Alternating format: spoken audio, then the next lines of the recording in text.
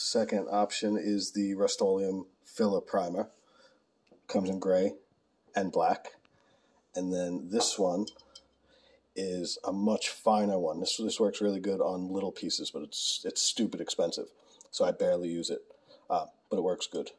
Um, not to go off on a tangent, I want to show you something cool. If you have these two products, hold on. So what I did was I sprayed this whole helmet with the gray.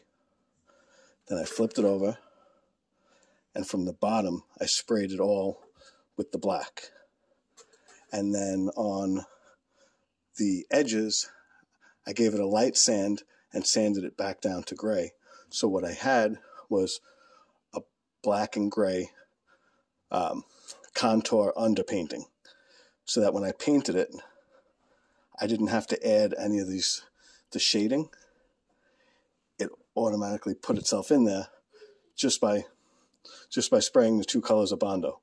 It was really down dirty, quick and easy, and got the job done.